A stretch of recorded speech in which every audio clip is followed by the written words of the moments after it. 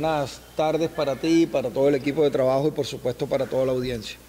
lo, primero que uno tiene que, empezar es que, eh, porque si no sabemos eh, de a dónde partimos, nunca podemos llegar a unas verdaderas conclusiones.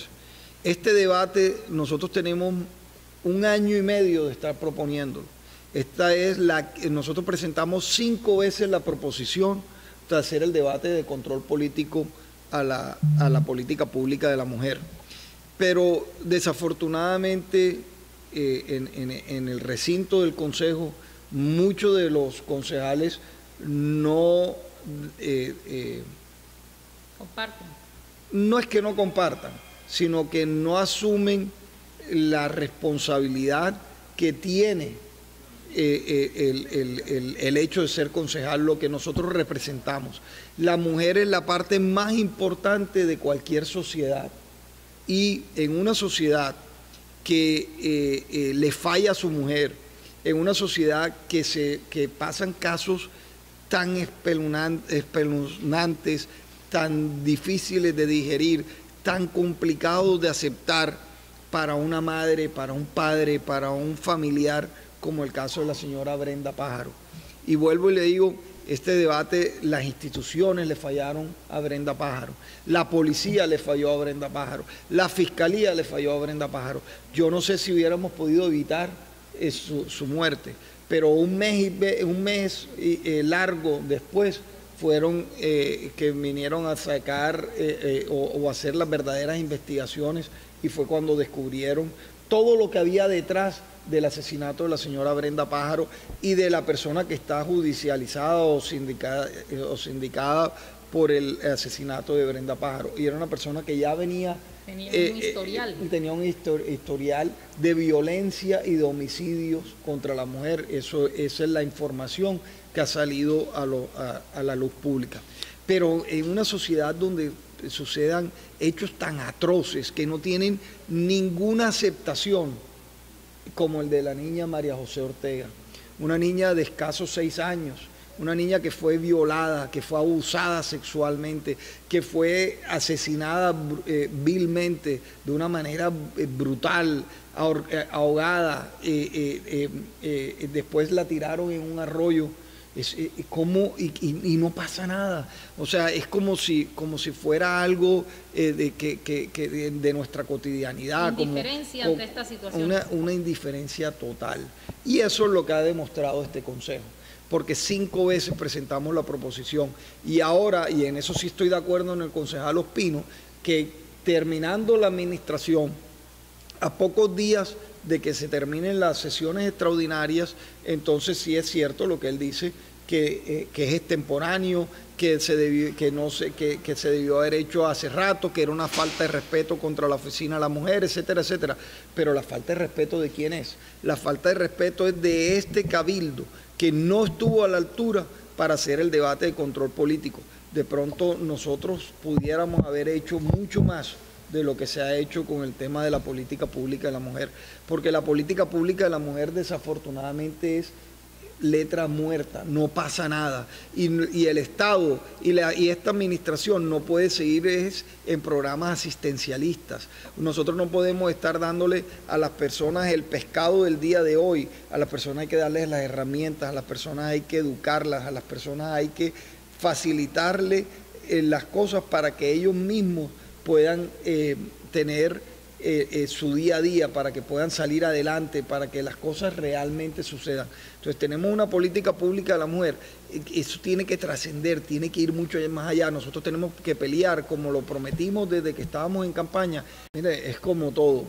Aquí hay prioridades para cosas que no deben ser prioritarias, pero para las cosas que deben ser prioritarias si no hay presupuesto para, si nosotros vimos también el debate que dimos de la política pública de discapacidad, 100 millones de pesos para más de 40 mil, 42 mil personas en situación de discapacidad.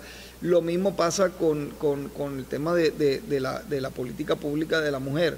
Tiene que haber presupuesto, tiene que tener herramientas, tiene que tener dientes para que de verdad podamos generarle esa tranquilidad a la mujer. No puede ser posible que la mujer en Barranquilla, en su primer anillo de seguridad, de tranquilidad, que es su hogar, que es su entorno familiar, es donde más está siendo vulnerada la mujer, donde la mujer está siendo abusada psicológicamente, donde la mujer está continuamente siendo abusada sexualmente, donde la mujer está siendo maltratada, donde la mujer está siendo golpeada, donde la mujer está siendo asesinada. No es en la calle. Es en su, hogar. es en su entorno familiar. Ahí es, eh, ahí es donde yo hago la crítica este, a, la política pública de la mujer. Ahí es donde le hago la crítica a nosotros como barranquilleros, a nuestra sociedad, qué es lo que estamos haciendo. Y tengo que insistir, nosotros como sociedad le estamos fallando y le seguimos fallando a nuestras mujeres. Barranquilla se requiere un verdadero sistema de información que permita monitorear los casos de violencia contra la mujer con, eh, con base en indicadores construidos conjuntamente entre todas las instituciones oficiales. ¿Por qué? Porque medicina legal tiene unas estadísticas, la policía tiene otras estadísticas, la fiscalía tiene otras estadísticas, la Secretaría de la Mujer, perdón, la Oficina de la Mujer tiene otras estadísticas. Y si uno mira el, tema de, la administración, eh, con el doctor Jesse Turbay, tienen otras estadísticas y ninguna seguridad ciudadana. y ninguna concuerda. Entonces, si tú no tienes una verdadera información y si tú no sabes dónde están sucediendo los casos, que, a qué hora son los casos más recurrentes, cuáles son las consecuencias de los de, de, que, por qué se sucedieron los casos, si tiene que ver con, con, temas de drogadicción, si tiene que ver con temas de alcohol, si tiene que ver con temas de algún tipo de celebraciones, si tiene que ver con festejos, si tiene que ver con reuniones familiares. No hay un estudio específico. No, ¿cómo puedes tú apoyar o poder uno garantizarle la tranquilidad o la seguridad? A la mujer si no sabes por qué están sucediendo. Uno tiene que conocer de fondo cuál es el problema para poder darle soluciones al problema. Y eso no está pasando en Barranquilla. Si uno no tiene una georreferenciación o una caracterización y uno va y puede saber qué está sucediendo, mire, mire, mire lo, importante de esto. En, en, los resultados que nos da la administración, habla de suroccidente, suroriente y área metropolitana. Y faltan dos localidades. Pero no habla de los casos que, que pudieron haber pasado o que están pasando o pasaron en Río Mar ni en Norte Centro Histórico. O es que Río Mar o Norte Centro Histórico son otra parte de la ciudad. Este informe parece más un informe asistencialista que un informe que de verdad nos esté, nos esté diciendo qué está pasando con la política pública de la mujer. Empezando porque no tiene un órgano eh, consultivo el Consejo Consultivo, que también debería estar eh, eh, como, como, como, como lo, exige el acuerdo, no se, no, el Consejo Consultivo nunca se convocó. Y después lo dice la Contraloría, entonces tenga otro Consejo Consultivo mientras se posesiona el Consejo Consultivo real, porque si tú no mides, si tú no le haces seguimiento, entonces ¿de qué te sirve la política pública? La administración distrital no cuenta con los mecanismos de evaluación que monitoree continuamente el cumplimiento de los derechos de la mujer. Por lo tanto, si no tomamos los correctivos, la política pública es y seguirá siendo letra muerta. El, debate, igual que pasó con el debate de la, eh, de la política pública de discapacidad, nosotros nos damos cuenta cuántos concejales habían cuántos concejales intervinieron, cuántos concejales de verdad están eh, preocupados por la situación. Estos son unos temas que debe ir mucho más allá de las cuatro paredes del recinto distrital del Consejo de Barranquilla. Esto es un tema de ciudad, esto es un tema de nuestra sociedad, todos nosotros tenemos, tenemos madres, todos nosotros tenemos abuelas, todos nosotros tenemos hermanas, todos nosotros tenemos tías, todos nosotros tenemos hijas, sobrinas, nietas. Nosotros tenemos que demostrarle a la sociedad barranquillera y sobre todo a la base de, cualquier sociedad, que es la mujer, porque en un entorno familiar quien lleva eh, eh, el rol del principio de, autoridad, del principio de, los valores, de los principios de, la ética, de la moralidad, de, de todo lo que encierra eh, una, sociedad, es la mujer. El entorno familiar, el amor en una casa, todo es una mujer. Y yo creo que tanto este recinto como esta administración, como nosotros como sociedad, le estamos fallando a nuestra mujer. Si nosotros no estamos eh, eh, en la capacidad de hacer autocríticas, porque es que a veces cuando hacemos este tipo de debates, la administración o los funcionarios lo toman como, como si fueran personal. Los debates políticos nunca son personales, van mucho más de eso. Nosotros hoy estamos en el Consejo, mañana no estamos. Nosotros somos circunstanciales, pero la sociedad, la mujer siempre va a estar. Y nosotros si no damos soluciones reales, ¿esto cómo lo corrige? Entonces nosotros necesitamos primero conocer cuál es el problema, qué está causando los problemas tener estadísticas reales, con tiempos reales, saber eh, eh, eh, las, las, secuencias, las horas, cuándo están sucediendo, en qué barrios donde más sucede, todo para poder uno atacar la problemática. El que, el, que no conoce sus problemas y sí seguirá cayendo en los mismos errores y no estamos protegiendo a la mujer. Ah.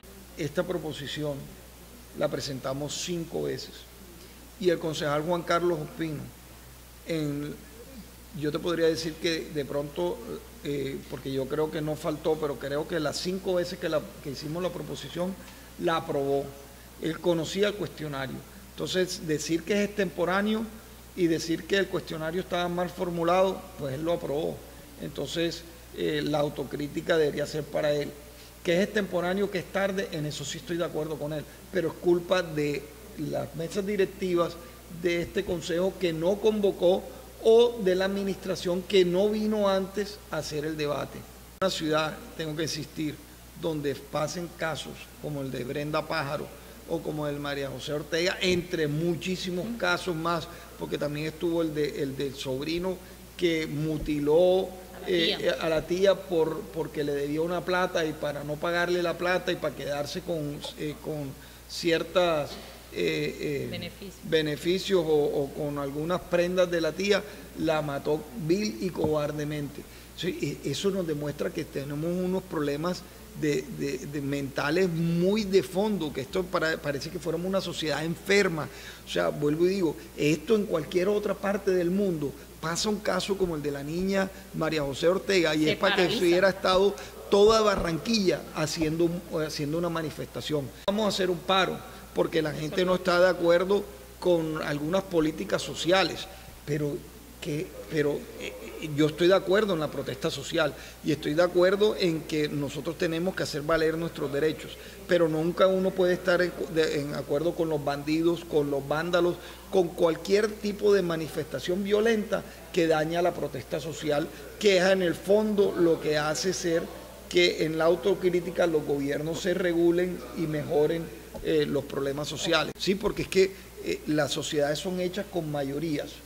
Y entonces no puede ser que siempre una minoría o una gran minoría tome todas las decisiones. Sí, hay que respetar y garantizar los derechos de las minorías, pero también hay que garantizar los derechos de las mayorías. Y si la gente quiere trabajar y quiere ese día ir porque necesita el sustento de su, del día a día, tenga la libertad de poder abrir su puesto de trabajo o pueda abrir su oficina o pueda hacer su trabajo cotidiano para que pueda cumplir con, su rol de, papá o, de mamá o que pueda eh, eh, eh, cumplir con, con sus derechos fundamentales.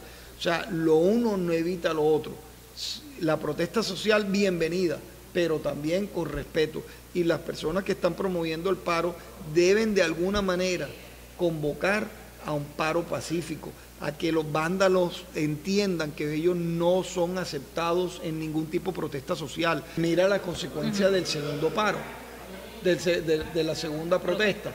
Los estudiantes salieron, se manifestaron y lograron el objetivo. No hubo una piedra, no hubo un, síntoma de violencia, no hubo nada que criticar a esa protesta eh, social que hicieron los estudiantes por lo que ellos creen eh, que es la vulneración de sus derechos. Entonces, es lo mismo eh, que tiene que quedar como, como reflexión de esto.